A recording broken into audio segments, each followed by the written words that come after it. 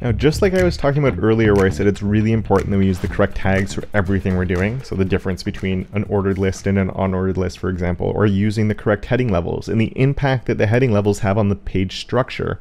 And that's because all of these elements are what we call semantic elements. They carry meaning to them. Our heading one is the title of our page. Our unordered list is a list where the order of the list items doesn't matter versus the ordered list.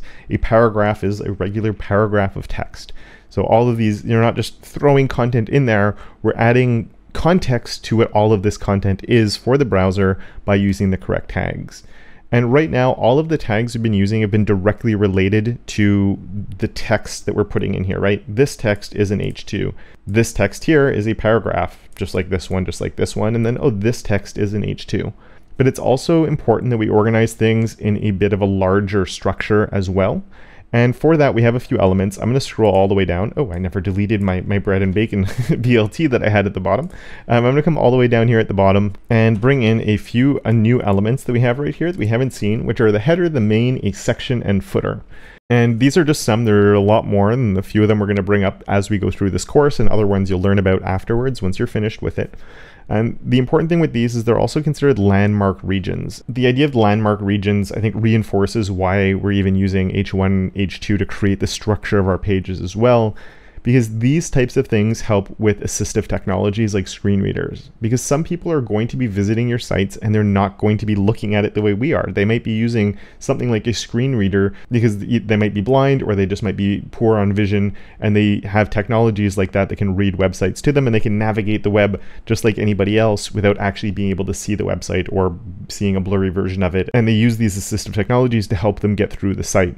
And the example I like giving for, for this is it's the same reason like if you were to walk into a, an office building and you got to the floor you wanted to get to you know it's this huge building and you get to the floor you want and then there's no numbers and no company names on any of the doors throughout the entire building. And then you're just going like oh i they told me to come onto floor six. I don't know where to go. And you just go to every single one of the offices and try and figure out, oh, hopefully this is the right one, and you just go one to the next until you find what you're looking for. That would be a nightmare, right? You would that would just be a very unpleasant experience of awkwardly knocking or going into each and every office until you find the right one. That's why we put door numbers and why we put company names. So you, you get there and you look around, and you're like, oh, that's what I'm looking for, and you can go to the right place right away. And it's the same thing when we're using the correct semantic HTML. We're creating these different sections of a website to let browsers and assistive technologies know what all these elements they're coming across actually are. And while a lot of users might not see these elements that we're going to be adding in now, they help convey that page structure. And as I said, for people using screen readers, it makes it a lot easier for them to understand and navigate the site. And it would also help with bots and other things that are scraping websites too to make sense of the content. So for you know Google bots that are scraping websites trying to understand what your website is, proper structure is going to help with the search engine knowing what's going on uh, as well. So there's lots of reasons for using the correct tags. And so using these, the typical structure of a website might actually look something like this. Where you'd have your body that has all, you know, the body, we've already seen that. We already, it's all the content that's showing up on our actual page. Then we'd have a header at the top of the page that usually has the logo and navigation in it. We'd have our main section, so it's all the main content. Then optionally inside the main, you definitely don't need to do this because our heading levels do create the structure, but I find it easy if there's like clear sections of a website, we can use a section element to create these separate sections uh, along the way. And then you often have a footer at the bottom of the page. It has things like your copyright. Uh, a lot of time it has a navigation in it as well. So the header has the logo and navigation. A lot of footers have the copyright information. Uh, they end up with another navigation, the social links, contact information, that footery stuff that you see on websites all the time.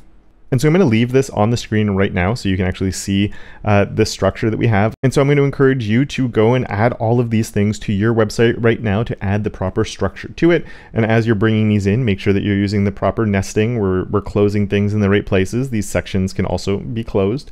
Uh, so each section opens and closes along the way. And we're creating the proper structure so everything is properly nested. And then you're using your tabs to also make sure that the indentation is correct so we can see that nesting nice and clearly. Once you're done with that, you can hit play and I'll show you my solution.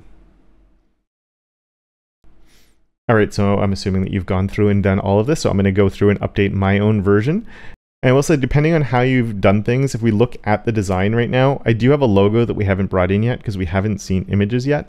So if you put the header around the H1, that would be great because we can definitely do that. That's sort of the title of our page and the introduction uh, to our project. So we can do something like that and I'd be very happy with that. What I'm actually going to do is I'm going to take the header right here and I'm going to throw a comment in and say logo will go here. Just because once we get to version 2 of our website, we have the logo, the navigation, and that tends to be the very standard things that we do include within the header. So a little bit of a trick there, but if you put the H1 in the header, fantastic. You're thinking about things in the right way. Uh, so with that though, I am going to come and we're going to come right here and we're going to add in a main I'm going to delete this main from the top here. I'm going to come all the way down to right before the copyright at the bottom, because the copyright's, for me, the footer information at the bottom. And I'm going to close my main, and then I'm going to tab that over, just so it's lined up properly. And then I'm going to grab everything. So I'm actually just, I'm placing my cursor down here. I'm selecting a little bit of content. I'm going to scroll all the way back up to where I get to my main here, and I'm going to select to that H1. So I have everything in between my opening and closing main tag selected, and I'm going to push tab there. And now all of that is inside of my main. Then we get to the optional part. If you didn't add sections, that's completely fine, just because, as I said, the real structure is coming through the heading levels that we have here. But since we're doing this, we might as well come in and add in a section right there.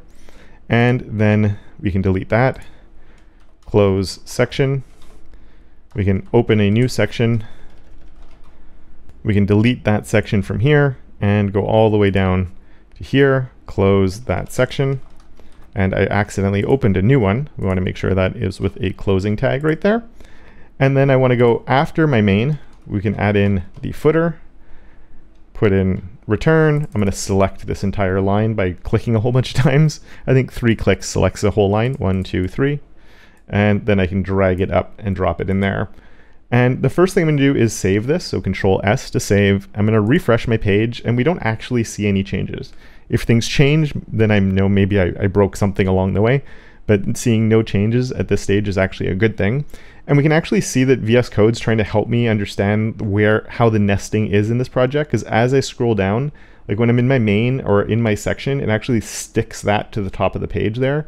So this can just help you know like how far into something you are at times and it just VS Code does this automatically where it shows us the nesting and creates these like sticky header levels uh, or these sticky yeah these these sticky elements at the top. And so I'm in my header and then when I go past my header it sort of falls back away and then I go into my main.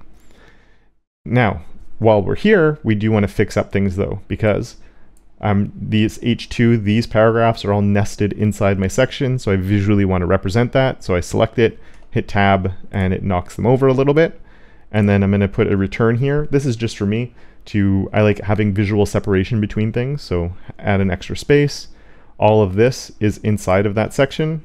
This UL is inside of that section. And I want to, you can even see it, VS Code draws this line here. And I just want my, my opening section and my closing one to be aligned with each other. So I can tab that over and I can see now that's visually all together. Then my main is going to close. I'll add an extra space. We can come here and I can shift tab to bring this back in and I can get rid and I can get rid of that extra space that we had right there. And then I have my footer, my main and everything there. Uh, you'll also notice I do have word wrap off. If you have word wrap on, I just find at this stage it makes it really messy. So again, that would be under view and your word wrap or alt Z. Again, I probably option Z, though it could be an alt Z on Mac as well. Um, just because I find, I mean, it's fine. You can definitely see all the text, but you can see how it just makes it a little bit more squished and everything when we have nesting going on, and it makes it a little bit harder sometimes to see the structure of your site. So when I'm bringing in content, I like having that on, but when I'm just worrying about structure and making sure my elements are all there, I like having word wrap off, and it just makes it a lot more clear to see the structure of everything without really stressing too much about the content itself.